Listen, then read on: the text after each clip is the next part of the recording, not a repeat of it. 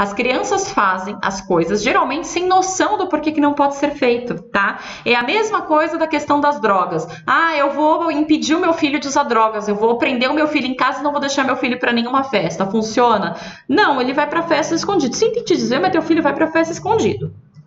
Ele vai namorar escondido. Ele vai fazer escondido porque proibir não funciona. Então não adianta você também proibir a criança de roubar. Olha, não pode roubar, você está proibido de roubar. Porque não vai funcionar. Sabe o que, que vai funcionar de fato? Você sentar com essa criança e explicar para ela as consequências daquilo. Você explicar para ela o porquê que aquilo não é legal. Explicar para ela os dois lados, tá? Você chega para ela e explica: olha, quando os outros roubam as nossas coisas, a gente fica triste porque a gente é, gastou dinheiro para comprar aquilo, porque aquilo era importante para nós, porque aquilo tinha valor para nós. E as pessoas não podem pegar coisas que não são delas. Se um amiguinho vem e pega um brinquedo que é seu, você vai ficar magoado, você vai sentir falta daquele brinquedo, você não vai gostar que façam isso com você. O seu amigo também não gosta que façam isso com ele. E na nossa sociedade, filho, o que acontece é que pessoas que roubam, elas são excluídas da sociedade, elas vão presas. E a criança precisa saber disso, porque essas são as consequências naturais. Isso não é uma mentira. Na na sociedade, o que acontece com pessoas que roubam e são pegas em flagrante ou são acusadas disso de alguma forma,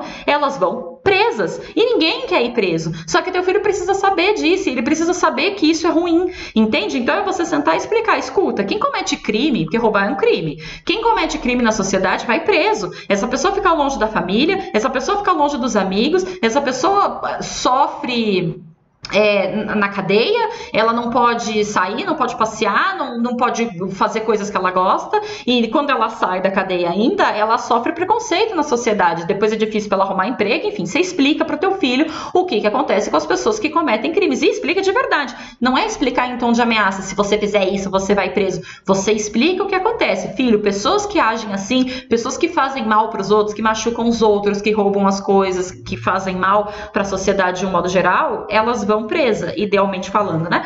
Elas vão presas. E preso não é legal, a cadeia não é um lugar bom. A cadeia tá cheia de pessoas que, que fizeram coisas ruins e que ninguém quer estar tá por perto, porque as pessoas sentem medo. Vai que ele rouba alguma coisa, vai que ele me machuca. Então, explicar para o teu filho as consequências reais daquilo que ele faz. Porque se a criança souber que o roubo não é uma coisa boa, porque machuca os outros, prejudica os outros e porque tem uma consequência por trás disso, que isso na sociedade não é aceita, se ajuda essa criança a formar as noções éticas e morais dela porque eles não nascem sabendo disso. Eles não nascem com noção ética. A gente precisa aprender ao longo da vida. A gente não nasce com noção moral e cabe aos pais ensinar. Então não é por meio do castigo, não é por meio da bronca, é devolver o objeto, reforçar com teu filho que ele é uma boa criança e explicar para ele, filho, isso é errado por esse e esse motivo. E quem faz isso acaba acontecendo isso e isso, acaba sendo assim, assim assado, acaba fazendo dessa e dessa forma. Do mesmo jeito você faz com drogas. Você não vira pro teu filho e fala, olha, você não vai usar drogas porque a mamãe não deixa, você não vai usar drogas porque o papai não deixa. Não tem nada a ver com a minha mãe deixar ou com a minha mãe não deixar, porque você não vai estar grudado 24 horas com teu filho, então você não sabe o que ele está fazendo em todos os momentos. Drogas não tem a ver com o papai deixa, a mamãe deixa. Drogas tem a ver com você estragar a sua vida. No momento em que você vai falar sobre isso com teu filho, não é, ai filhinho, não pode. É menino, se você fizer isso, você vai estragar a tua vida. Você vai acabar com todos os seus sonhos, porque drogas faz, acontece isso, isso, isso. Aí você vai lá e pega no Google foto de de pessoas drogadas, vai lá e pega no Google história de pessoas que perderam tudo para as drogas, porque drogas, vício em drogas é uma coisa que devasta famílias inteiras. A pessoa perde a família, perde os amigos, perde o emprego, perde tudo e muitas vezes morre, ou muitas vezes leva uma vida assim miserável, com perdão da palavra, mas essa é a realidade. E teu filho precisa saber.